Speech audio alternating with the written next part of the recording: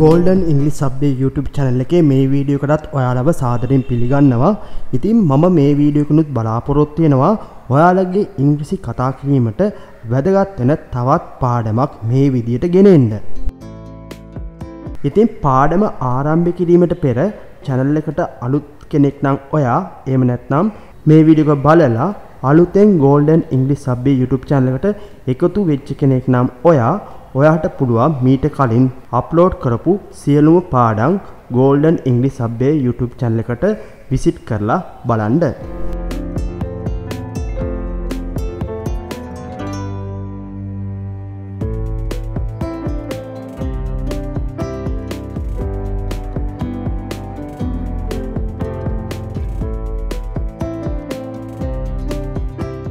ඒ වගේම මතක් කරන්න කැමති ඔයා යම්කිසි දැනුමක් මේ පේජ් එකෙන් ගත්තනම් ඔයාට පුළුවන් සබස්ක්‍රයිබ් කරන්න, කමෙන්ට් කරන්න, ලයික් කරන්න. ඉතින් මම මේ පාඩමෙන් ගෙනෙන්න බලාපොරොත්තු වෙන්නේ අපේ එදිනදා කතාබහේදී අපි යම්කිසි අදහස් දක්වනවානේ. සිංහලෙන් වුණත් අන්න ඒ වගේ අදහස් කීපයක් කොහමද ඉංග්‍රීසියෙන් ප්‍රකාශ කරන්නේ තව කෙනෙකුට කියලා. ඉතින් මම තම්මේල් එක දක්වා තිබෙන්නේත් අන්න ඒ ආකාරයෙන් ඉංග්‍රීසියෙන් කියා දෙන්න බලාපොරොත්තු වෙන වාක්‍යයක් සිංහලෙන්. අපි වැඩි කතා නැතුව පාඩම පටන් ගමු. බලන්න මම පළවෙනිම දක්වා තිබෙනවා ඉංග්‍රීසියෙන් I thought that you would scold me. I thought that you would scold me. ඉතින් ඒ විදිහට අපි ඉංග්‍රීසියෙන් අදහස් කරන්නේ සිංහලෙන් නම් මම හිතුවා ඔයා මට බණී කියලා. මම හිතුවා ඔයා මට බණී කියලා. ඉතින් I thought that you would scold me කියලා කියන්නේ මම හිතුවා ඔයා මට බනී කියලා. ඔන්න ඔය විදිහට තමයි ප්‍රකාශ කරන්න පුළුවන් වෙන්නේ. බලන්න ඉංග්‍රීසි මම දක්වා තිබෙනවා it would be better if you kill me. it would be better if you kill me. ඔයිට වඩා හොඳයි මාව මැරුවනම්. අපි ඔය විදිහට කියනවනේ ඔයිට වඩා හොඳයි මාව මැරුවනම් කියලා. බලන්න කොහොමද ඉංග්‍රීසියෙන් කියන්නේ it would be better if you kill me. If would be better if you kill me. ඔයිට වඩා හොඳයි මාව මැරුවනම්. ඔය විදිහට අපිට ඉංග්‍රීසියෙන් කියන්න පුළුවන්. මෝඩෙක් වගේ ඇසිරෙන්න එපා. මෝඩෙක් වගේ ඇසිරෙන්න එපා. ඔන්න ඔය විදිහට අපිට ඉංග්‍රීසියෙන් කියන්න පුළුවන්. Don't behave like an idiot. Don't behave like an idiot. එතකොට behave කියන්නේ ඇසිරෙනවා. behave කියන්නේ ඇසිරෙනවා. ඉඩියට් කියන්නේ මෝඩයට. එතකොට don't behave like an idiot කියන්නේ මෝඩෙක් වගේ ඇසිරෙන්න එපා කියලා. ඉතින් මේ ස්ක්‍රීන් එකේ මම දක්වා තිබෙනවා it doesn't matter to me what you do. it doesn't matter to me what you do. ඔයා මොනව කරත් මට කමක් නැහැ. ඔයා මොනව කරත් මට කමක් නැහැ.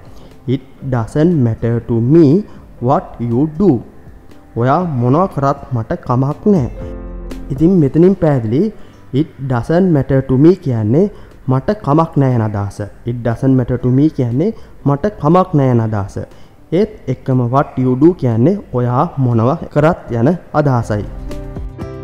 ඉතින් මොනවාරි කරන්න යද්දී තව කෙනෙකු කලබල කරද්දී අපි එයාට කියනවනේ කලබල කරන්න එපා කියලා. කලබල කරන්න එපා. කොහොමද ඉංග්‍රීසියෙන් කියන්නේ? don't rush. don't රශ් එතොට මේ ඩෝන් රශ් කියලා කියන්නේ කලබල කරන්න එපා කියලා. ඉතින් පාඩම මැදදිත් මම මතක් කරන්න කැමති මම මේ විදියට ගෙන එන්නේ අපේ එදිනෙදා කතා බෑදී අපි තව කෙනෙකුට අදස් දක්වනවා ඒ අවස්ථාවත් එක්ක. ඉතිං කෝමද ඒ වගේ අදස් කීපයක් ඉංග්‍රිසින් කියන්න පුළුවන් කියලා තමයි මම ඔයාලට මේ විදියට ගෙන එන්නේ. I didn't mean to say I didn't mean to say මම හිතලා නෙමේ කිව්වේ. I didn't mean to say මම හිතලා නෙමේ කිව්වේ. ඉතින් මම මෙතනදි මතක් කරන්න ඕන මම මේ I didn't mean to කියලා මීට කලින් ඕගොල්ලන්ට පාඩමක් ගෙනත් තියෙනවා වාක්‍ය රටා විදිහට වාක්‍ය රටාවක් විදිහට මම මීට කලින් ඕගොල්ලන්ට ඒ I didn't mean to යන අදහසත් එක්ක පාඩමක් ගෙනත් තිබෙනවා.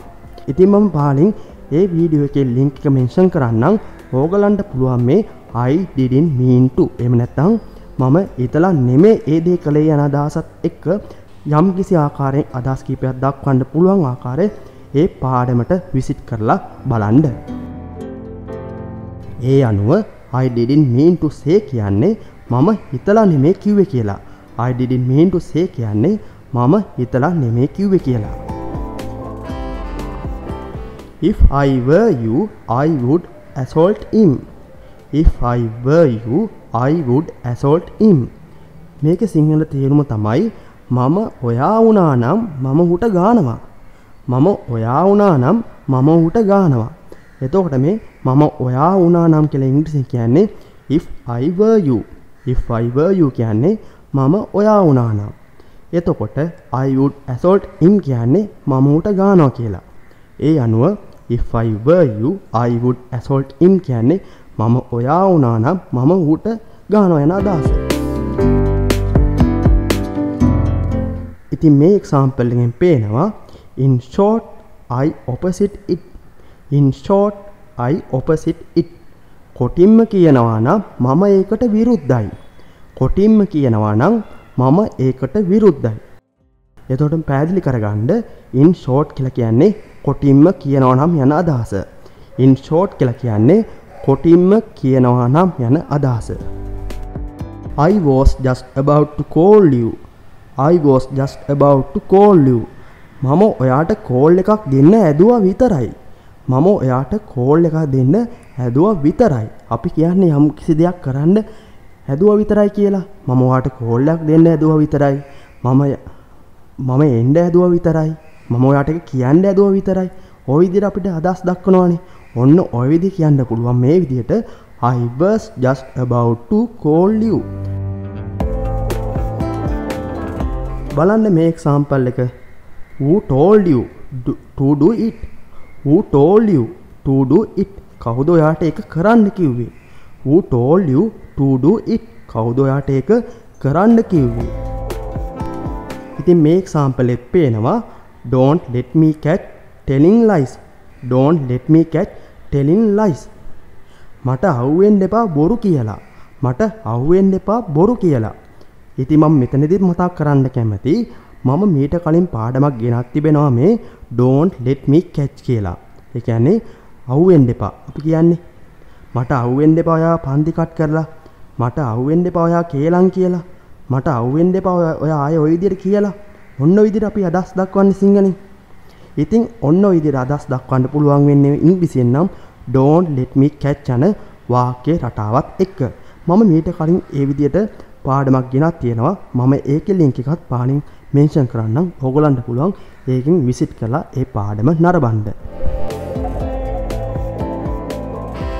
ඉතින් මම තම්මේල් එකේ දක්වලා තිබෙනවා හේයි මේ ඔයාට හැවුනද හේයි මේ ඔයාට මාව හැවුනද අපි සාමාන්‍ය ඉතින් දන්නවනේ ඔය විදිහට ගෑනු අය කතා කරනවානේ. හේයි මේ ඔයාට මාව ඇවුනද කියලා? ඉතින් කොහොමද ඒක ඉංග්‍රීසියෙන් කියන්නේ? බලන්න මම මෙතන දක්වා තිබෙනවා නේම් කියලා ස්පේස් එක ඇතුලේ. නේම් ඊට පස්සේ දක්වා තිබෙනවා can you hear me? Can you hear me? ඉතින් අපිට ওই විදිහට කියන්න පුළුවන් කෙනෙකුගේ නම සඳහන් කරලා. අපි උදාහරණයක් විදිහට කියමු. අපි කියමු කමල් ඔයාට මාව ඇහුණද එහෙම නැත්නම් කියන්න පුළුවන් කමල් ඒයි මේ ඔයාට මාව ඇහුණද ওই විදිහට කියන්න පුළුවන්නේ කෙනෙකුට ඔයාට මාව ඇහුණද කියලා කොහොමද මේ ඉංග්‍රීසියෙන් කියන්නේ බලන්න මම උදාහරණයක් විදිහට ගත්තොත් මම ගමු කමල් කියන නමම ගමු බලන්න එතකොට නම විදිහට කමල් කියලා ගමු. Kamal can you hear me? Kamal can you hear me? ඉතින් අපිට පුළුවන් කැමති කෙනෙකුගේ නමක් සඳහන් කරලා ඔයාට මාව ඇහුණද?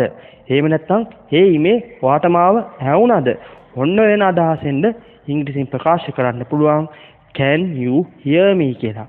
can you hear me කියලා.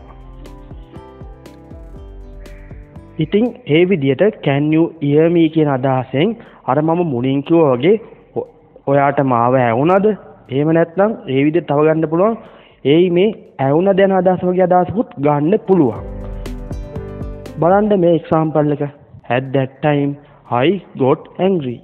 at that time I got angry. ඉතින් ඒකෙන් සිංහලෙන් හැඟෙන්නේ ඒ වෙලාවේ මට කේන්ති ගියා. ඒ වෙලාවේ මට කේන්ති ගියා. අපි කියනවානේ ওই විදියට. ඒ වෙලාවේ මට එයා හැම දෙයක් කියද්දි කේන්ති ගියා කියලා. ඉතින් අපිට ඒ විදිහට කියන්න පුළුවන්. at that time I got angry කියලා. At that time I got angry. ඉතින් අවසාන වශයෙන් පැහැදිලි කරන සිංහල වාක්‍යයට ඇඟෙවෙන ඉංග්‍රීසි අදහස තමයි මම මේ දක්වා තිබෙන්නේ. බලන්න it is difficult to say exactly. it is difficult to say exactly. ඉතින් exactly කියලා කියන්නේ හරියටම යන අදහස. exactly කියලා කියන්නේ හරියටම. එතකොට it is difficult to say exactly කියලා කියන්නේ මට හරියට මේක කියන්න බෑ. මට හරියටම ඒක කියන්න බෑ.